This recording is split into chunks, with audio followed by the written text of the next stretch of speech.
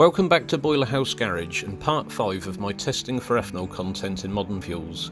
In this video we're doing a control test by using some E10 Shell FuelSave petrol. This is just to get an idea of what we're looking for when it comes to finding ethanol and how it appears in the measuring cylinders.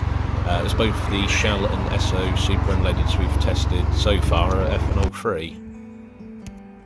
We will be using 300 millilitres of water mixed with 700 millilitres of the test petrol, a method to detect ethanol which is explained in better detail in part 3 of this series. I will also be going back to my earlier uh, water line on a glass jar, uh, or in this case a bottle, as I've had a few people comment on how I need to be shaking up the mixture and leave it for longer than I have been. So I'll pour the petrol carefully on top of this water, uh, as not to mix it with my pour-through method for comparison and then leave a little ream at the top so it can be vigorously shaken together and we can see just how quickly the separation happens compared with pouring the water on top of the petrol in the measuring cylinders which mixes as it moves through the petrol uh, to sit at the bottom with no shaking or much in the way of stirring. So let's make sure we give this a proper shake up. Hmm, this technique feels oddly familiar. Now this is properly mixed, you cannot see any separation of the petrol and water, but it's immediately producing a froth and in less than a minute you can see the instant results of the water line, now higher than it was because the ethanol has moved into it. There isn't as much here as I thought, so perhaps there's quite a bit more to come out of the petrol. The petrol isn't as translucent as it was before, so perhaps this is the remaining suspended water and ethanol and needs some time to fully separate. But now for my default test of pouring the water through the petrol. You may have noticed the E10 petrol is somewhat yellower than the ethanol-free petrols we tested before. Now let's see if we get a near instant result from this method where the mixture hasn't been shaped. And we do. The separation line is around 340 millilitres. I say around as there is a discrepancy in these blue printed measurements and the embossed ones on the rear of the cylinder, which is what I'm going by to pull the levels. 335 millilitres is what we'd expect uh, for E5 petrol, the extra 35 millilitres being half of 70 which is the 10% of 700 millilitres that you'd expect to find in E10, 10% ethanol. On the back, it may not show on camera, but the line is around 330 millilitres, plus this table isn't completely level, uh, but it is adequate for the purposes of detecting the difference of 5 and 10%. Something else which may not come over on camera is this frothy separation line that we didn't get on the ethanol-free petrols. These tubes are semi-opaque, so let's take another look at the glass bottle to, so we can see if there's any more clarity to the petrol and I'll, I'll mix it again to see if the froth will be more apparent through the clear glass.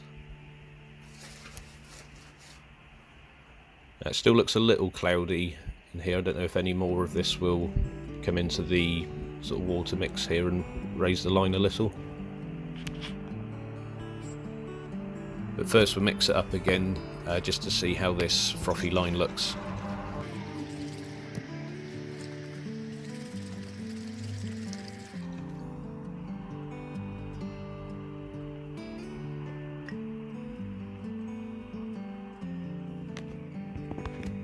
And there we go, it's much easier to see here. Looks like the head on a cheap lager.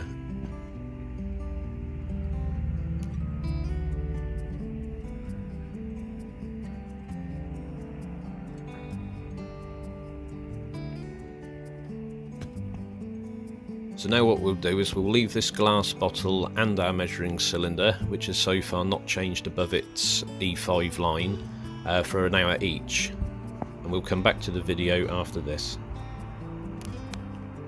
Today's video is brought to you by Nexo. Nexo is the world's most advanced digital assets institution, offering instant loans, daily earnings on assets and a zero fees cryptocurrency exchange. Nexo gives digital asset holders the best of both worlds, instant access to cash and high yielding daily compounding interest on your idle funds, including US dollars, euros and pound sterling, and digital assets including Bitcoin, Ethereum and many more.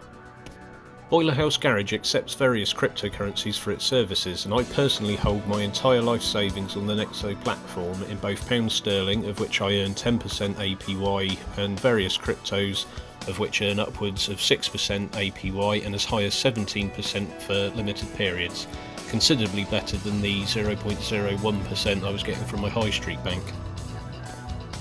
Nexo carries $375 million in insurance protections for assets held on the platform, while they are stored in military grade Class 3 vaults, still allowing for instant access to your funds. For a limited time only, click the referral link in the description below to receive $25 worth of Bitcoin when you deposit $100 worth of any asset supported by the platform. Hurry as this promotion ends on December the 31st. Now back to the video. So coming back an hour later, the clarity of the petrol is mostly unchanged, maybe slightly clearer, but it's hard to tell on the uh, plastic cylinder as it's uh, opaque. Uh, but the line is still at 340, uh, which is surprising because 335 millilitres is E5 and this is supposed to be E10 petrol. What I'm going to do on this glass cylinder, uh, glass bottle, sorry, is uh, mark a line where it is now. So it was the initial water line, and then one hour later after mixing, and then I'm going to do an overnight uh, test, as it were, just to see if this line raises above the one hour, which would mean this cloudy, murky petrol uh, will translate to more water and ethanol mix. Although it's unsurprising that E10 petrol does contain ethanol, what is surprising is the fact that this is E5 still, because at 335 millilitres is indicative of E5, E10 would be 370 millilitres. However, the fuel suppliers are allowed to sell this until December. Now it's the next day, let's see how our overnight glass bottle test has done. It appears that the separation line is no higher than it was after leaving it for an hour. In fact, it actually looks lower, but this is likely down to it stabilising and leaving a thinner, more definitive line than the foggy one I've sort of crudely traced with a Sharpie. Um, when there was still some settling going on. However, this does conclude that the results we see after an hour are more than sufficient for our purposes, which is simply to see that a certain petrol is either ethanol free or contains a particular amount of it which we can judge as E5 or E10. Remember also that E5 and 10 labels mean anywhere up to that respective percentage of ethanol and not necessarily that amount specifically. Now that I've wiped off most of the condensation, holding it up to this white background we can see if the petrol's a little bit more transparent and closer to how it was at the start of the test. I'm not sure if the fuel is coloured uh, yellow as an identifier or, or if the yellow tint is caused by the ethanol uh, because it's made from corn uh, ethanol, or perhaps it's a combination of both. In conclusion, we've seen how both the mixing methods of pouring water through petrol in a cylinder is as valid to achieving visible results as the shaking it together.